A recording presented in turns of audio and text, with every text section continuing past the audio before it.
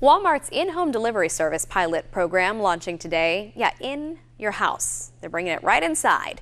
The retail giant kicking off the service in Kansas City, Pittsburgh, and Vero Beach. And today, Walmart says it's teaming up with Level Home for its smart entry technology and Nortek Security for the garage door entry.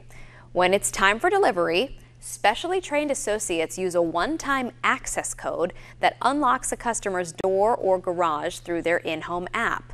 A camera worn on the associate's vest will live stream the delivery in real time straight to a customer's phone.